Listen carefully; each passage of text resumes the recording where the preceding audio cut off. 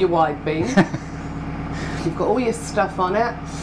Um, settled in nicely. You chucked your keys. Chucked them? Well, somebody chucks you your keys. Oh, I was going to say. And then you're on your own. Off you go. Yeah, they drop you in the water, don't they? Craneage and go bye. Yeah. Uh, uh No one tells you how to drive it. nope. No one tells you how to moor it. Nope. Even start it. Or even start it. No, I still don't know how to start it, actually, which we discovered the other day. Yeah, start it up. Uh, Um, what? I'm not sure how to start it up.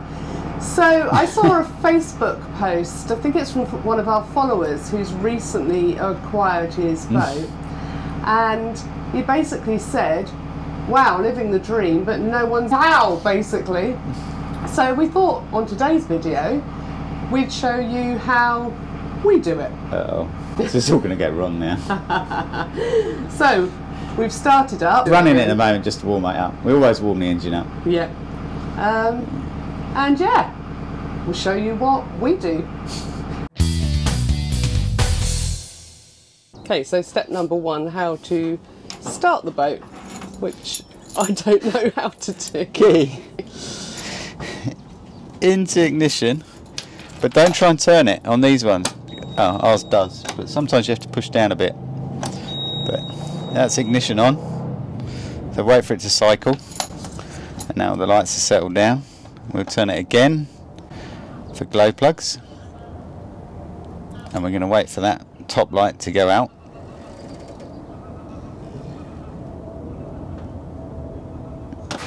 And then start like a car. She's all up and running. Okay, gear lever. This is the Vetus one. So at the moment it's in neutral and you can feel, you can't really move it. If you push it, there's forwards. And you pull it back and you feel it click, that's neutral. And then backwards, backwards. Now the more you push it, the harder the throttle will go. And you can just let go and it will stay there. So we'll come back to neutral, but also there's a button on here. So you can come around there and you should do this before you start it. Push that. That now disengages the gears. So now this is just an accelerator. A bit like in the car, you rev the car up, but it's out of gear. So, and to get it back into gear, you just come back and it resets itself. Now, yeah, the trick with this is when you are cruising and you're in forwards, so you're in forwards motion, you're slowing down and you want reverse, is to come back into reverse, count to five, and then select reverse. Don't just get the gear lever and go oh backwards straight in because you, you can end up damaging your gearbox and you really don't want to go down that road. And that is because um, the the, The prop's prop shaft is still going trying to- forwards. yeah. You're then selecting reverse and then trying to grab. You've released the prop shaft, the gearbox has, and it's then trying to grab it whilst it's rotating and force it to then go backwards. So it's premature wear on the basically on your clutch. It's like slipping your clutch pedal all the time in your car, and yeah, it will wear out, and it's expensive to repair. So before we set off properly, we're going to just show you the rudder and the controls for the rudder. There is there's our little boat. now, as I turn the steering, it will show you the steering angle. So that's basically full over one way. And then we can go with the steering wheel all the way around the other way. And that's full the other way. So that that's you know full rudder. Yeah. And Well- it's very handy to have because you, you'll be cruising along and you can see you're going off course a little bit. And if you don't know how much you've steered, you can always look down and see the gauge and go, oh, that's okay, just one little bit back to back to normal. And then, of course, on the other controls, we've now got our bow thruster. Ah! It's working. So we can turn that on before we go anywhere. So we press it once, press it again, and solid green light. Yay!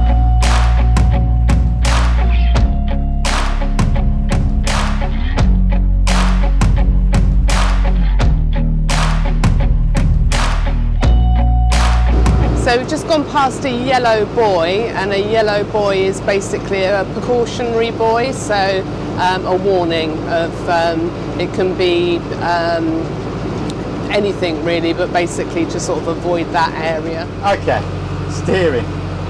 Steering this boat is very funny. It's, it's never simple, is it? No. Uh, it should be, but if you think of a car, you can steer straight and you can just go, oh, that's as easy, and put your hands here and it'll keep going straight. Uh, I'm afraid these boats don't do that. They've got a flat bottom, so they sort of go like this. They never go in a straight line. So at the moment, we, we're actually, oh, we are pretty much going straight, but I just leave it, the gauge is on zero, so we are going straight, but already we can see now the boat's doing this. So we're going over to the bank over here. And we are now yeah, pretty much going over. So we're gonna we're gonna correct it. So now we can see it's coming back. But if I'm not quick enough, now we've over-corrected. So we're gonna have to go back the other way. And this is what happens when you first get a boat. You can see the front of the boat going left, right, and now we're over-correcting that way. And oh, it's coming back that way, and then it's like, and this is what you'll end up doing and you'll end up doing this for about two or three hours until you realise to calm down a little bit. Not to if you do have to overcorrect you need to then sort of undercorrect very quickly. So now we've we've got it going pretty straight.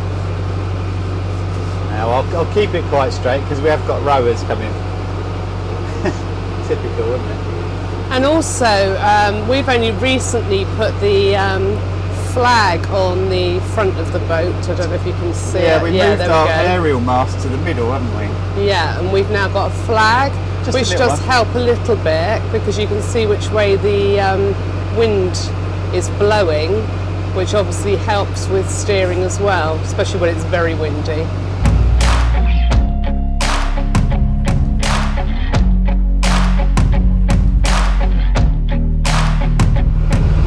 The other thing is as well, the more revs that you um, put on, the more responsive the steering is. Yeah, so if you're sort of new to it, it's better to go, well it sounds a bit silly really, but go slow.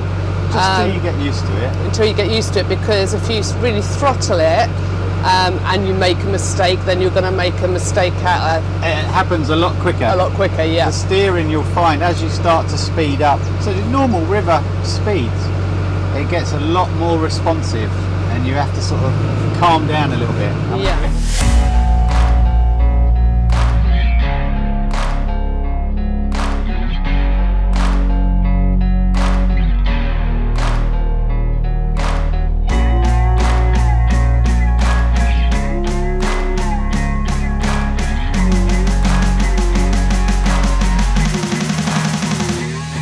We've just been through Shepperton Lock and it was a height of excitement because now our bow thruster is fixed. Yay!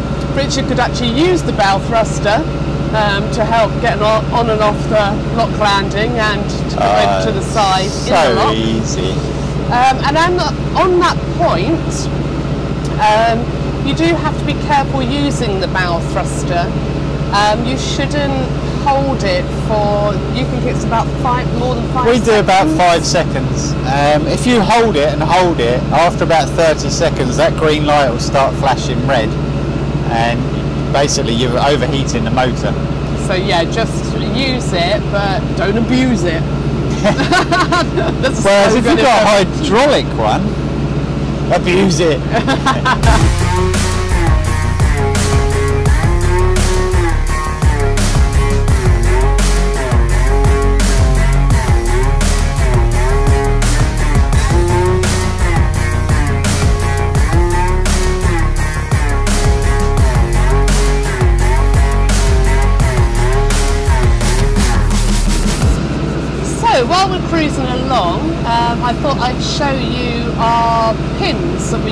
mooring.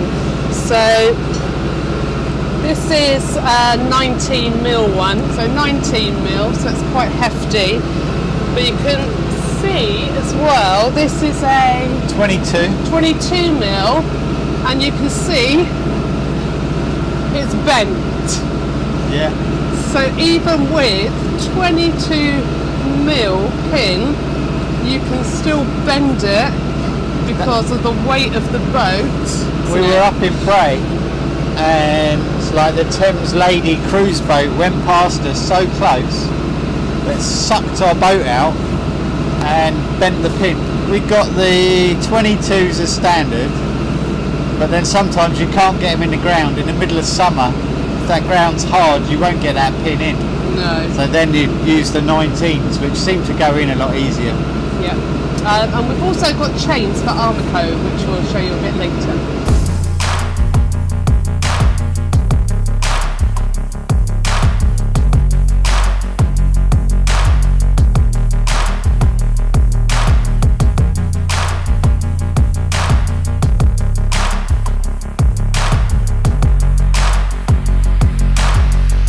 Okay, so here we are. We've made it to Runnymede. She's left me alone with the camera. Right, we're now going to moor up. And we can see our spot further ahead and should be capturing that on the other camera. We've already checked the river and it's, it's quiet. And we're going to moor up. So we're facing upstream. Um, it's a lot easier doing it that way. A lot easier. You can use the flow to sort of pull you in. So this will be an easy mooring. Plus, there's, there's no boats there whatsoever. Uh, let's just get it over there. Take it down to idle. Just keep the nose over, and it'll just pull us in. We should just drift in. We're now there's the bank, and we're like that, and we're just slowly pulling in. Again, keep just keeping the nose across. You could use a bow thruster for this bit, but no need. Upstream, facing upstream is a lot easier to moor than down if you're travelling downstream, because then you'd be in reverse. So here we come. She's on the front.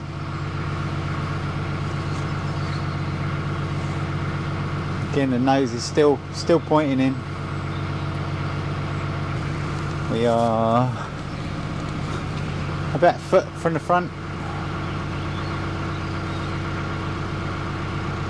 We're pretty much stopped now. and we didn't have to reverse, didn't have to do anything. I might have to just take the front, the side in a little bit, but we'll see how we get on. Let's steer across. No, nothing. And we, yeah, we've literally just drifted in. She's now off with the rope. And as soon as I get a bit closer, we're done.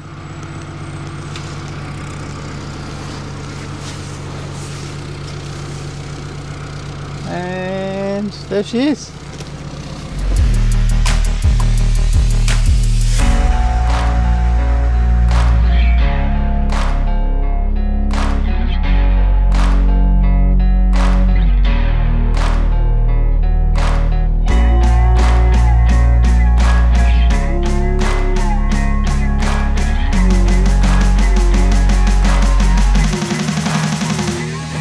So we've got Armco chains, um, but haven't moored, haven't moored anywhere where there is some Armco. So we are going to show you how you would moor using Armco chains on a bench.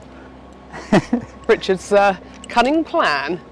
So here we are. Here's our Armco. I'm stood on the boat now, so Grass's boat. you drop the small ring down through the Armco. You then grab it from underneath, put it through the big ring, and there you have it. Simple. Then just what you would do then is loop your boat rope through that and tie up. Easy. But the main reason is you don't want to put the rope down through there and bring that back No, because it'll be going like this and it wouldn't be long before the Armco's, the Armco's really sharp on the edge. Yeah. It would cut through this and damage all your ropes. But basically, yeah, you don't damage your chain. Cool. So we're safely moored up at Runnymede outside the World Duty Free Centre. Free 24 hour mooring. Yeah, free. We like free. we haven't been here for ages, have we? No, no. First time we've been able to get through Penton Hook Lock.